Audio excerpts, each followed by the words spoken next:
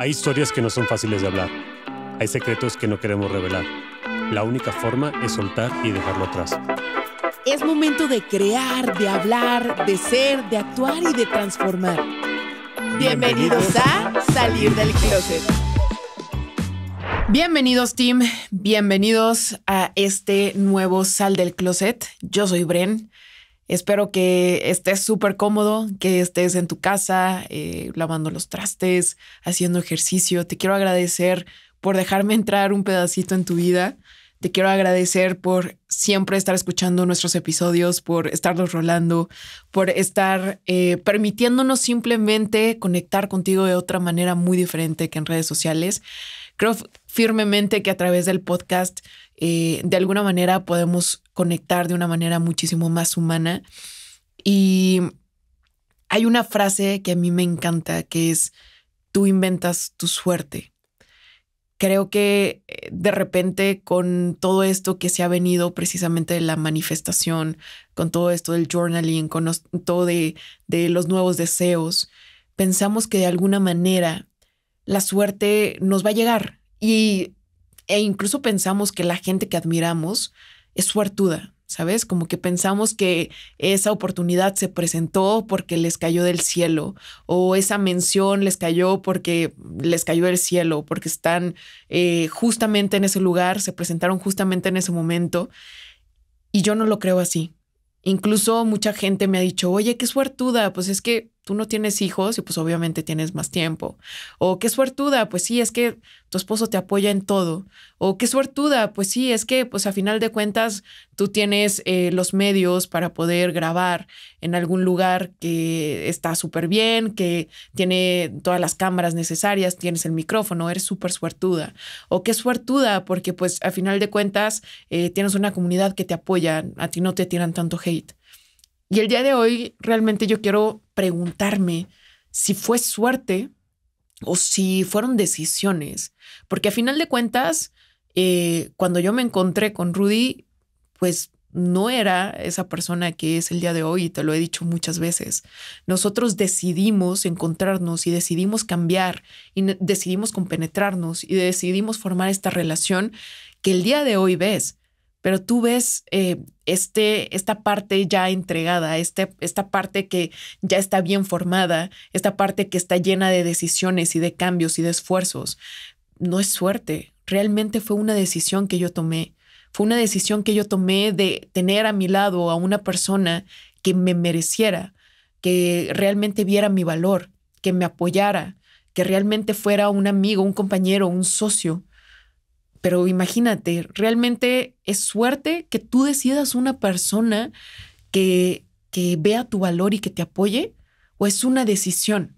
Claro que hay mucha gente en el mundo, pero a final de cuentas, así como tú te puedes encontrar una persona que te puedes hacer bien, también te puedes encontrar una persona que no lo hace. Y a final de cuentas, tú decides quién va a ser esa pareja que, que va a estar a tu lado y que o te va a empequeñecer o te va a potenciar. Así que no es suerte, fue una decisión. Lo mismo, no fue suerte que yo no tenga hijos, fue una decisión. Y obviamente tiene cosas buenas, tiene cosas malas, pero a final de cuentas fue una decisión que yo pensé que era lo que más necesitaba o que lo que, lo que más se alineaba a mi vida. No fue suerte que yo eh, haya ido a tal viaje. Fue una decisión de ahorrar y ahorrar y ahorrar para poder tener la oportunidad de salir. Fue meses de adelantar trabajo para poder tener la libertad de poder eh, salir y, dedicarme un poquito de tiempo a, a, conocer otros lugares, ¿no? No es suerte, son decisiones. Creo realmente que a veces nos queremos proteger con esta, esta palabra de es suerte, porque nos da miedo aceptar que esa oportunidad también estaba al alcance de nuestras manos. El día de hoy no vengo a presumirte, vengo a decirte que si está disponible para mí, también está disponible para ti, ¿ok? Bajo tus términos, bajo tus tiempos. Pero ese susurro, esa idea que no te deja dormir, es esa intuición diciéndote precisamente que es por ahí. Esa esa idea, esa percepción que tienes de va alineado conmigo, no es cualquier cosa, es simplemente tú sabiendo qué es lo que quieres y qué es lo que tienes que decidir. No es suerte, ¿ok?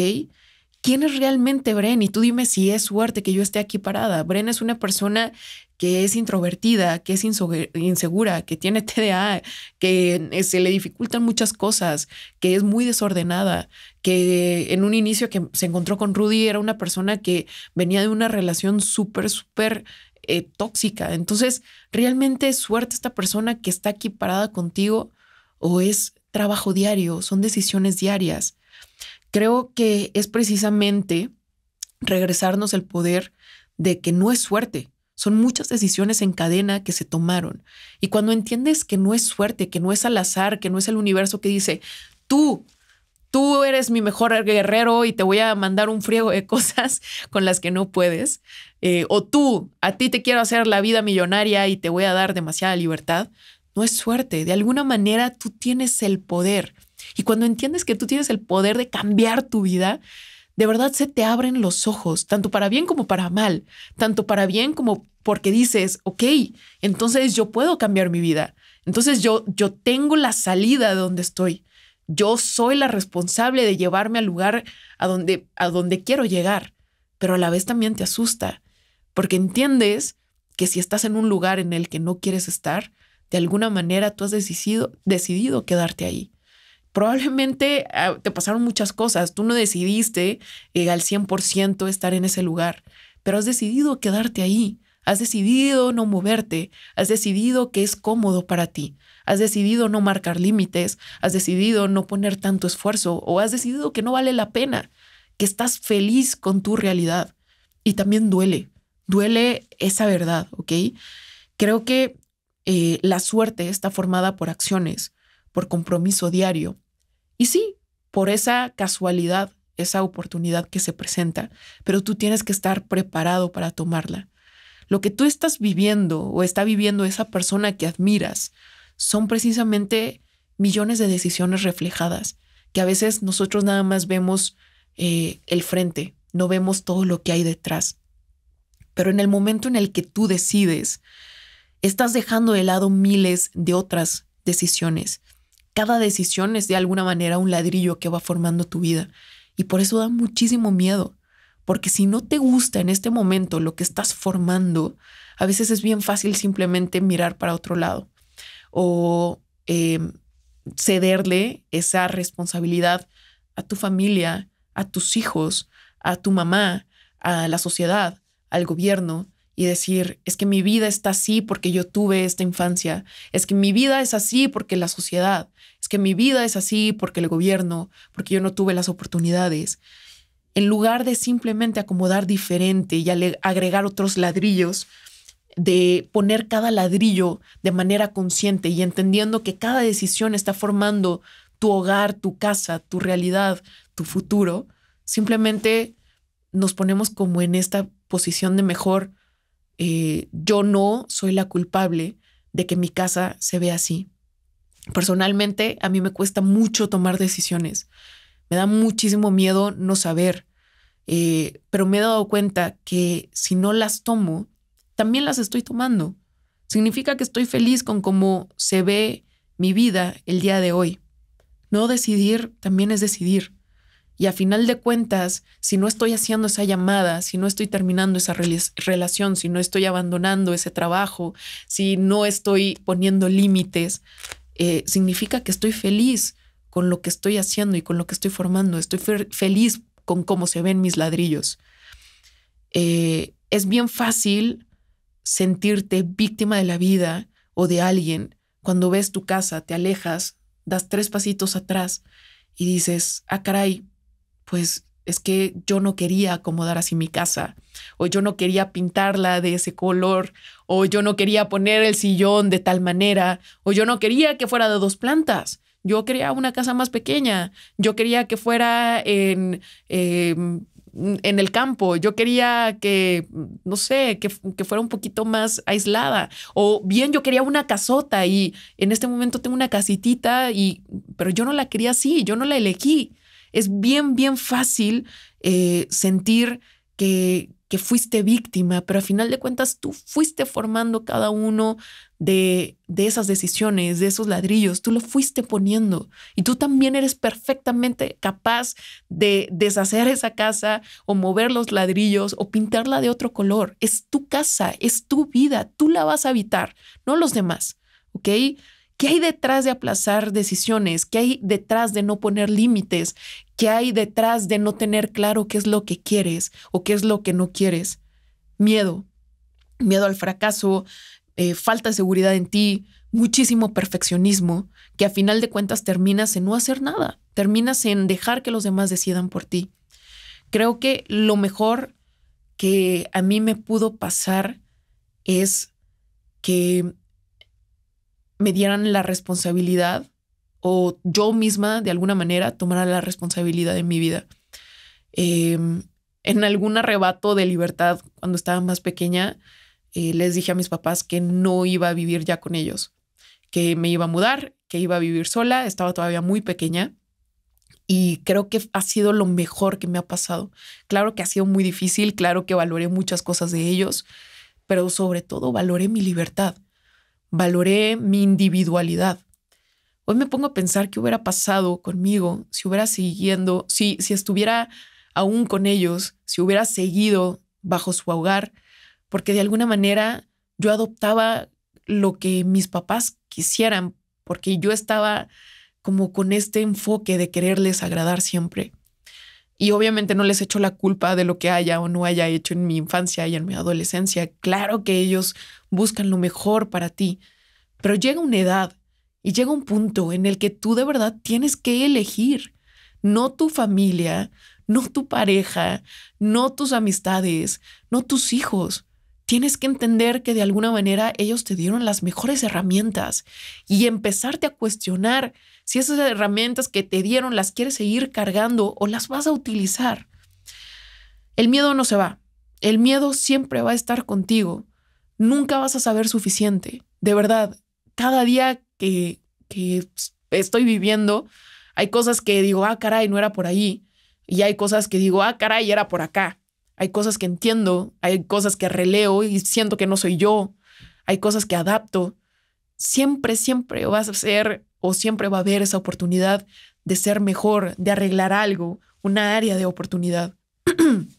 el miedo no se va. El miedo está aquí para preservarte. Esa vocecita que escuchas en tu cerebro eh, es ese, esa, esas ganas de tu cuerpo de querer protegerte del miedo, del rechazo. Es una forma de preservación.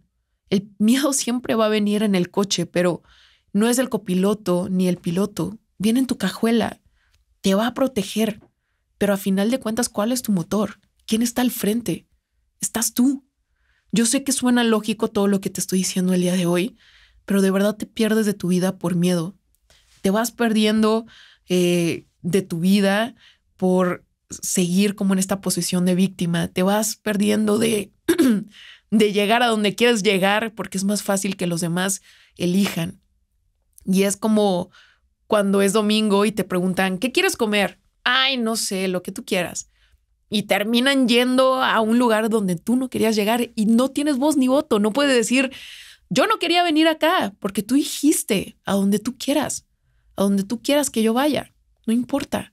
¿Qué más da? Es exactamente lo mismo que estás haciendo con tu vida cuando se la pones en las manos de otra persona.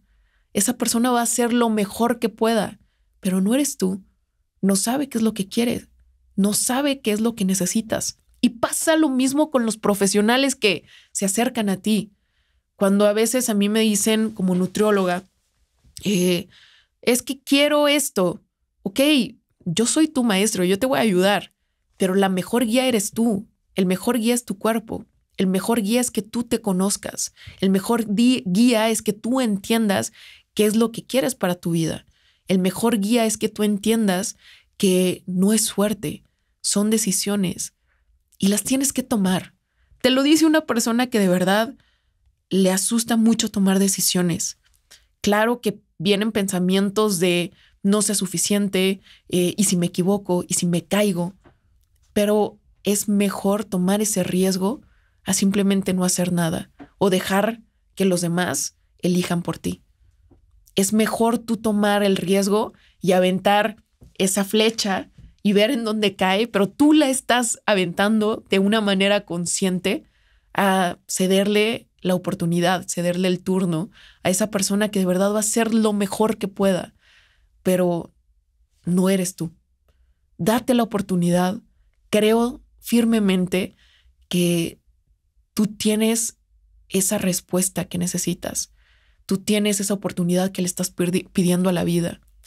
Todas esas personas que tú admiras, que tú ves hacia arriba, empezaron exactamente igual que tú con dudas, con miedos, y lo único que les diferencia a ti no es la suerte, son las decisiones, ¿ok? Tú inventas tu suerte, tú inventas tu vida y tú inventas tu futuro. El día de hoy te invito a que tomes de nuevo las riendas de tu vida. Ya las dejaste por mucho tiempo. Está bien, descansaste. Vuélvelas a tomar. Otra vez reacomoda y redirecciona y llega a donde tú sabes que quieres llegar. ¿Ok? Gracias, Tim, por haber estado por acá en esta platiquita conmigo. Ya sabes que tengo redes sociales, arroba, soy Brembita, arroba sal del closet podcast. Rólale este episodio a alguien que lo necesite y mientras tanto nos vemos en el siguiente episodio. Bye bye.